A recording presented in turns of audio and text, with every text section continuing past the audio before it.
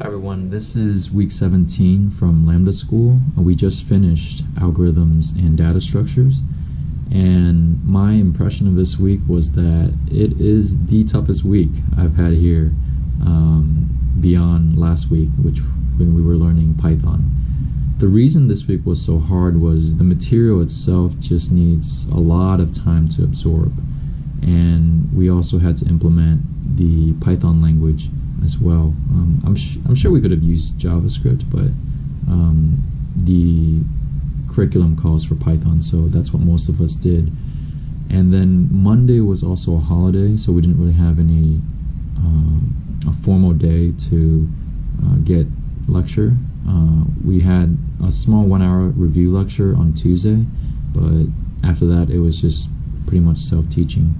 Another reason why this week was hard was uh, the instructor warned us that it was going to be more hands off, that they weren't going to give us, um, you know, lectures where they'll sh- show us how to do it, uh, let us do it on homework, and then, you know, perform it on the sprint challenge. It was more like, okay, here's the topic, and we'd like you to teach yourselves and also do the homework and sprint as well. Um, the danger of that, in my eyes, is that there's a lot of resources given that the material is older. Um, it's been taught at a lot of universities, uh, Harvard, MIT, and then there's different languages, Java, C, Python, that it can be implemented in. So you end up might, you know, getting lost in this rabbit hole because you're you have all these resources but you don't know which one you should spend your time on. So that ate up a lot of my time when I was trying to teach myself and then using Medium articles. Um, those were my primary two ways to teach myself.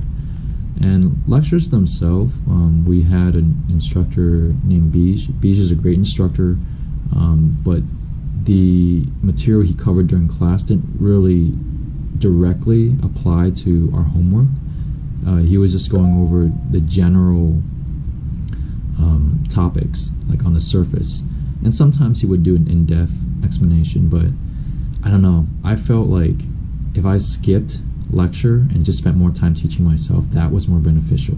Just to give you guys an idea. And then the topics we covered during the week included um, linked lists, queues, stacked, big O notation, heaps, binary search trees, and a whole bunch of other algorithms like Fibonacci and uh, all sorts of other things. Our sprint challenge was a little bit difficult. You had to implement uh, some new concepts, uh, such as breadth first or depth search uh, on your binary tree, and you had to learn all that and then apply it in your code as well in a working. Uh, they gave you a working heap uh, uh, tree already, and I think my takeaway from all this for you guys is if you are in Lambda school and you have access to the training kit, go ahead and hop on there and see the topics that they're covering. Go watch YouTube videos on it. Go practice that in Python. Try to understand everything because even the instructor said that it takes upwards of six hours to understand what's really going on underneath the hood and even before you write code. And I find this especially to be true.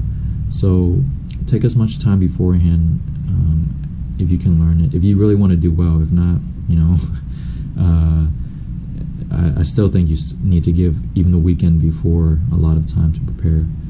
Um, I'm going to link resources here for you guys on the bottom of this video, the, the ones that I've used. Perhaps they can help you before you actually get to this topic. And just practice. This this is like the one time I'll, I'll tell you like please practice this. Please learn this. Please do it because you need the time to absorb the complex concepts. It's just not as easy as CSS or HTML right away. and then, just to close it off here, I've been traveling a lot, and uh, that's why this video is coming out a little bit later. I haven't had time to actually record and edit because I've been on the road so much and I'm gonna finish the video here. Thanks so much for watching and I do hope that your algorithm and data structure week goes a lot more uh, better than mine. And that's it. And I hope you have a great Thanksgiving if you're watching this uh, right right now during this time period.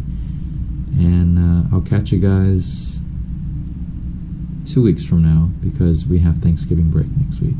Take care.